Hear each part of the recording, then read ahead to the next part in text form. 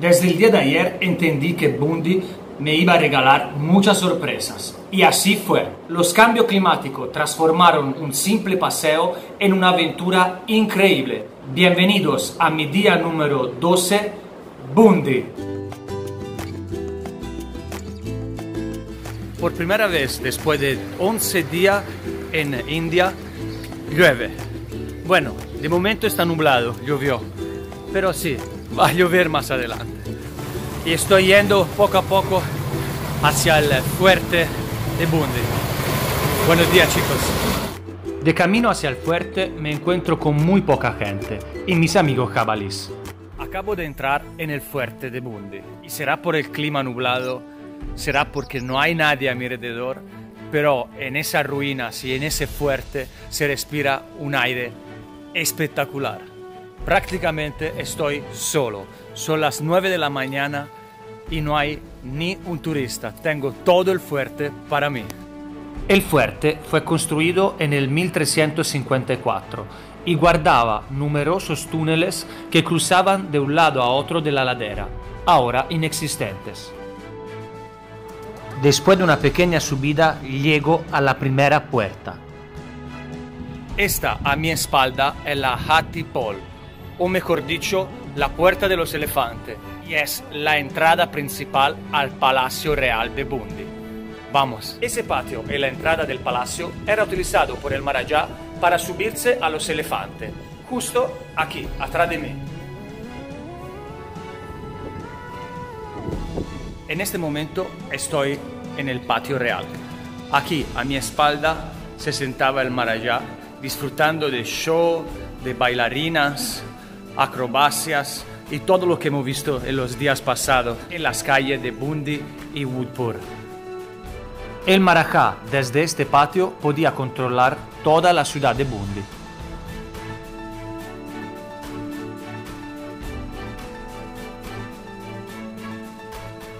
El palacio está lleno de estanques para lluvia que nunca se secan y servían en las temporadas de sequía para almacenar agua. Atrás de mí están los aposentos del Marajá.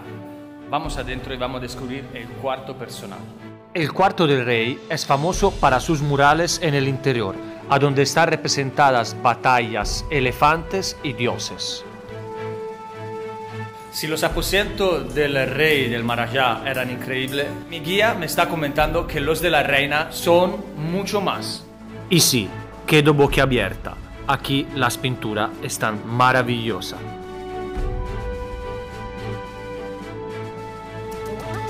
El palacio adentro es prácticamente como un laberinto.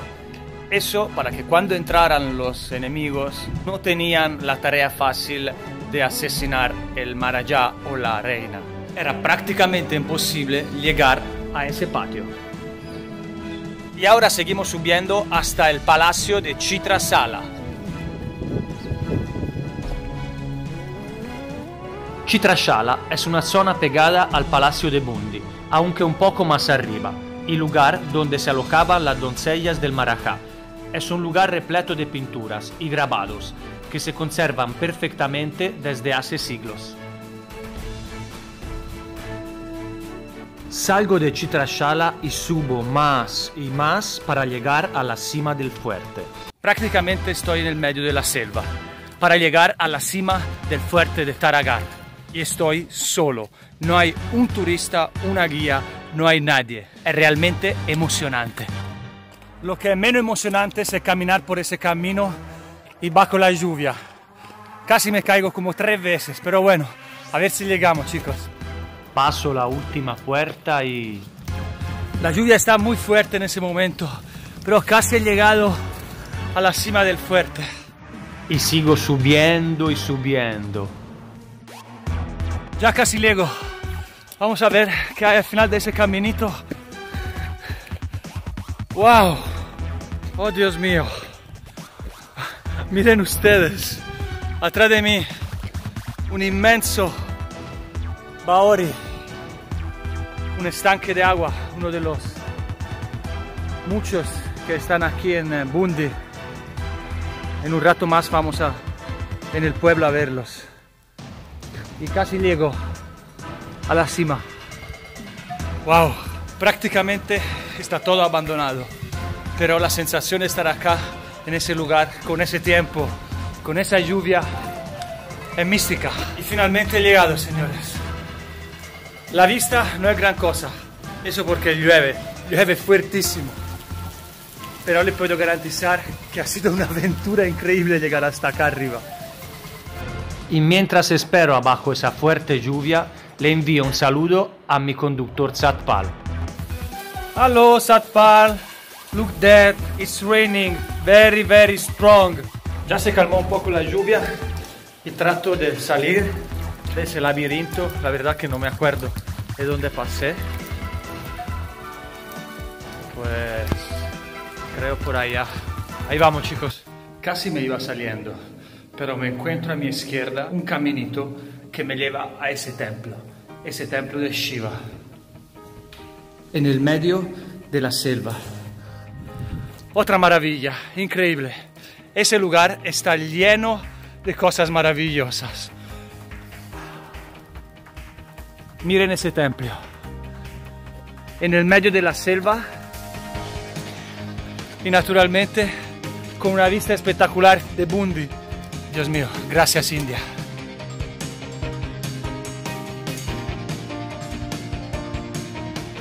Aquí en el templo de Shiva empezó a llover de nuevo y saben que no he terminado mi visita. He visto un caminito por ahí que lleva a la parte más alta y ahí es donde me dirijo. Poco a poco mi larga visita se transformó en una excursión de montaña. Y después de esa empinada subida, bueno, sí, aquí termina de verdad. Y miren, aquí la vista es muy diferente porque se puede ver de un lado la ciudad y del otro eso.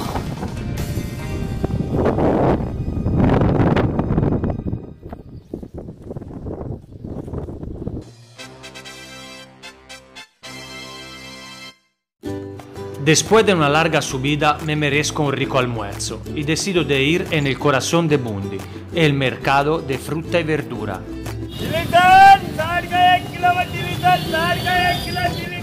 Aquí, además de los vendedores de vegetales frescos, me cruzo con unos puestitos de comida rápida. Así decido invitar a Satpal unos cuantos snacks. Aquí, almorzando con mi Satpal. Eso se llama pakara. Pakara. Y eso, Jalebi. Jalebi. pakara y jalebi. Así dice él. Número. Lo voy a probar, a ver si están buenos.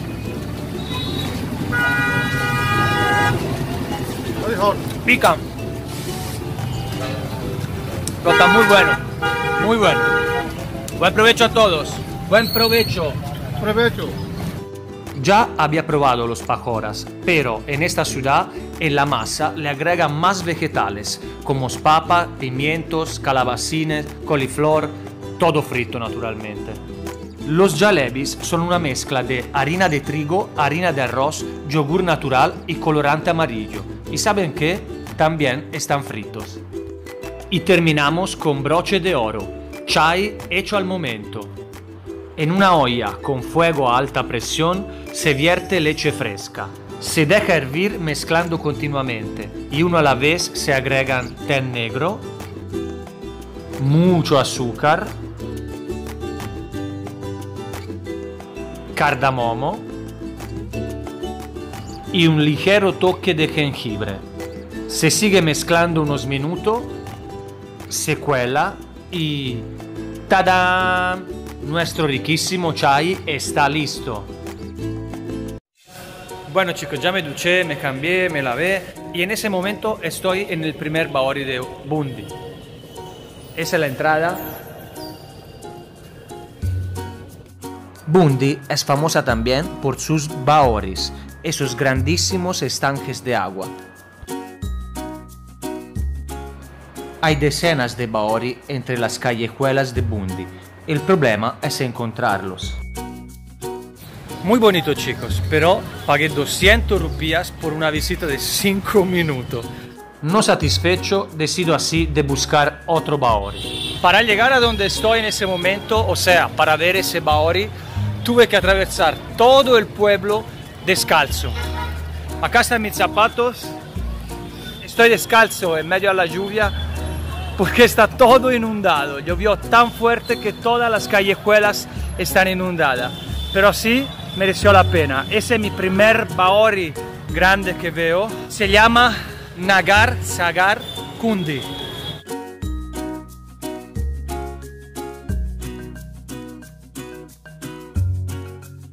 Sigo deambulando por las calles de este hermoso y casi calmado pueblo hasta la noche. Y termino mi aventuroso día con una bien merecida pizza margherita y una Coca-Cola, naturalmente vista al lago. Buenas noches chicos.